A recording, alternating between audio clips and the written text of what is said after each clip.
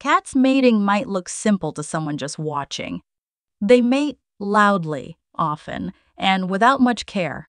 The female cat gets pregnant and then has a group of kittens. But the reality is a bit more complicated. In this video, we'll explain how cats make babies. So let's discuss step by step. Number one, is your cat in heat? Female cats that aren't spayed will go into heat known as estrus, and the signs are clear. A kitten can start her first heat as early as three and a half months, so don't wait until six months to spay her. Once a female cat has her first heat, it will keep happening until she mates or is spayed. Here are some signs to look for if you think your cat is in heat. Estrus cycles start when female cats reach puberty, which can be between 4 to 10 months old.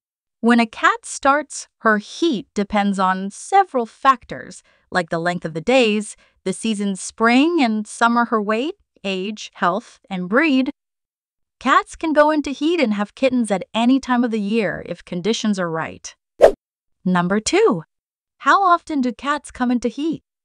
Cats are polyestrous, meaning they can go into heat several times a year. This is different from dogs, which are diestrous and only come into heat twice a year. Female cats usually keep coming into heat until they mate and get pregnant. Estrus lasts about 7 to 10 days, and there are three possible outcomes.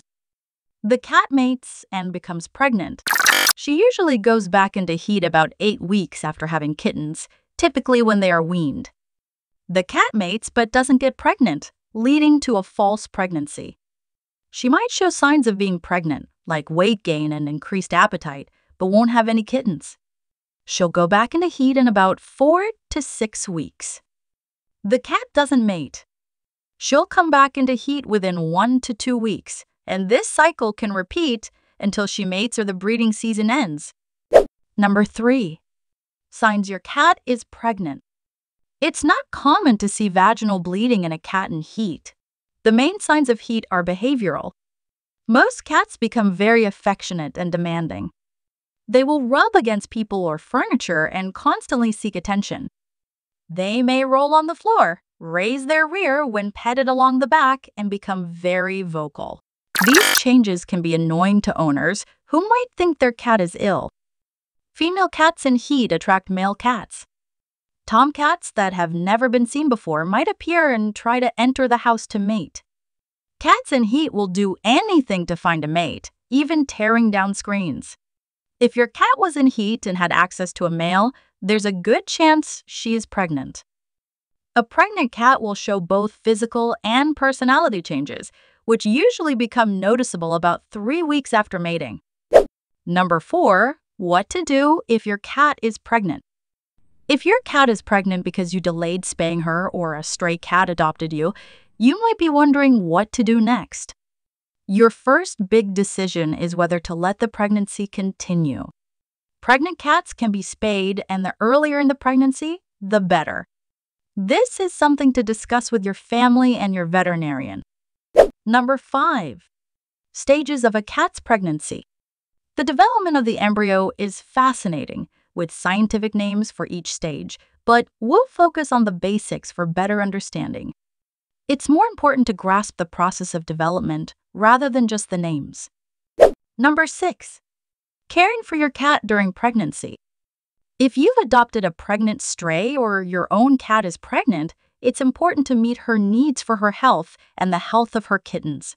Besides nutrition, Especially for a stray, most of what you provide is similar to what you'd give any cat shelter, a place to sleep, a litter box, a scratching post, and toys.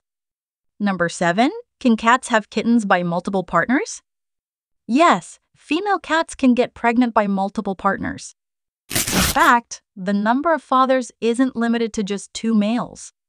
Queens can have as many partners as there are kittens. For example, if your cat has three kittens, each kitten could have a different father.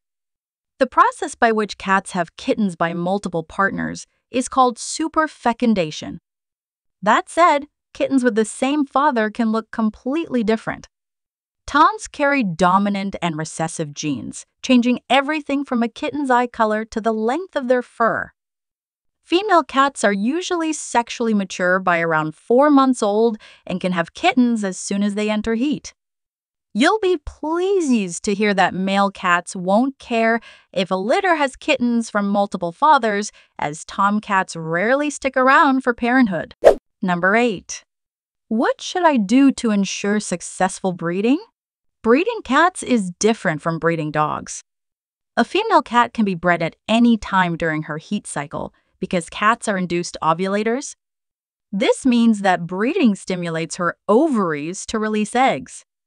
Eggs are only released when sperm is deposited in the reproductive tract. To ensure ovulation occurs, most female cats need 3 4 matings within a 24 hour period. However, studies show that 35 60% of cats in a colony may ovulate on their own. Once ovulation happens, the female cat will usually go out of heat within a day or two. Number 9. Potential problems in cat pregnancy. Any unusual symptoms during pregnancy should be discussed with your veterinarian. This is an important part of caring for a pregnant cat. While many pregnant cats have no issues, potential problems can arise. Being informed helps you prepare. Number 10. Helping your cat through the birth process. You will likely not need to do much during the birth process. Just be there to encourage your cat, acting as a kind of cat doula. You might even wake up one morning to find that your pregnant cat has given birth overnight and is nursing her kittens. However, it's important to recognize potential problems and know what to do if she needs help. After successful breeding, many queens show behavioral changes. Most become more affectionate and seek more attention during pregnancy.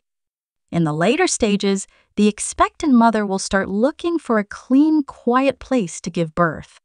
A birthing box should be selected and placed in a quiet area, like a closet or a dark corner.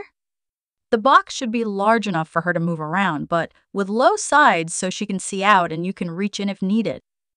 Line the bottom of the box with several layers of newspapers or other absorbent material to provide a private space for her and to easily dispose of it after it absorbs the birthing fluids. Number 11. Postnatal care of mother cat and kittens. The first two to three weeks are very important for your mother cat and her newborn kittens. During this time, the kitten should be growing quickly, and the mother will show any signs of postpartum issues. Keep them in a quiet area of the house. A separate room is best. Make sure it's warm, as cold can be dangerous for newborns. Let the mother cat guide how much attention she wants. If she's been with you for a while, she may enjoy your visits. Number 12. Finding homes for the kittens. Finding new homes for the kittens can be either exciting or stressful, depending on how you prepare. You've put in a lot of time, effort, and money caring for the mother and her babies over the past couple of months. Their future happiness depends on you taking the extra time to ensure their new homes are truly great. Finally, remember to have the mother cat spayed if you haven't done that yet. You've taken care of her during her pregnancy, and this is the responsible next step. Number 13 Does birth control for cats exist? There are products out there that interfere with a cat's hormonal cycle, but because of the associated health risks, most vets don't recommend them unless absolutely necessary. A far better option is to spay your kitty. Spaying alleviates discomfort and stress from frequent estrus, minimizes hormonally induced behaviors such as urine marking, and helps to prevent some serious health problems like certain cancers and potentially fatal infections of the uterus. If your cat is about to give birth, let us know in the comments. And don't forget to subscribe to Cats Insider.